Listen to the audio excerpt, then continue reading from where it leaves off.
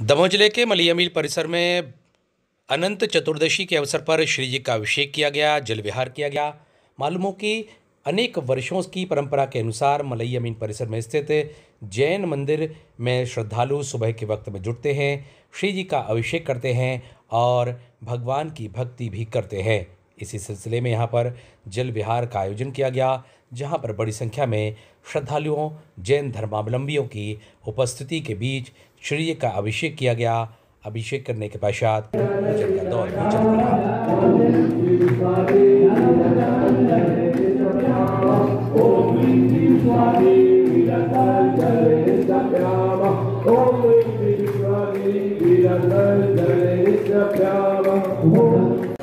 परम प्रविष्टि प्रवृत्तियाय सम्य ज्ञानाय स्वयं हुए।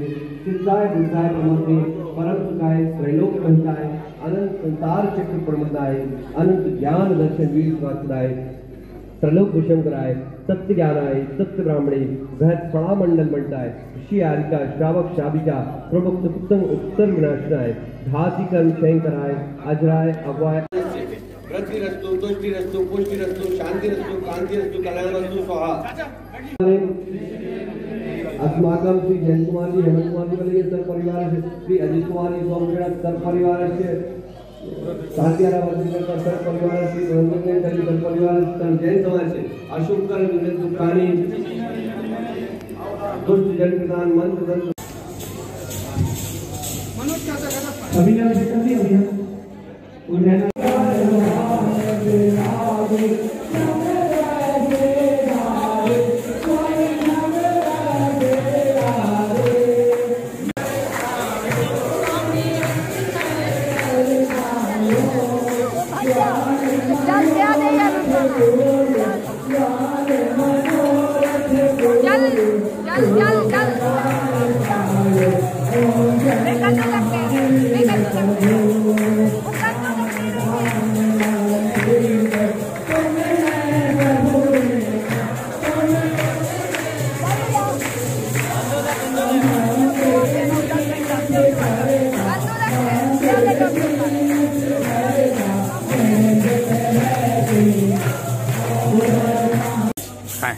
ये दस लक्षण पर्व के दौरान अनंत चतुर्दशी के दिवस, श्री 1008 मलैया मिल मंदिर में प्रतिवर्ष सामूहिक शांति धारा और अभिषेक का कार्यक्रम किया जाता है। उसी क्रम में आज यह यहाँ पर श्री जी का अभिषेक एवं शांति धारा का कार्यक्रम किया गया है, जिसमें यहाँ पर लोगों ने सौभाग्य प्राप्त किया और प्रमुख पात्र बनकर के शांति धारा की और 108 कलशों से यहाँ पर अभिषेक किया है। और आज यहाँ पर शांति धारा करने का सौभाग्य श्री जयंत कुमार जी मलैया जो कि पूर्व वित्त मंत्री हैं, उनको प्राप्त हुआ है। श्री हेमंत कुमार जी मलैया और श्री अजित कुमार जी सोमखेड़ा और श्री पदम कुमार जी खरी वाले परिवार को प्राप्त हुआ है।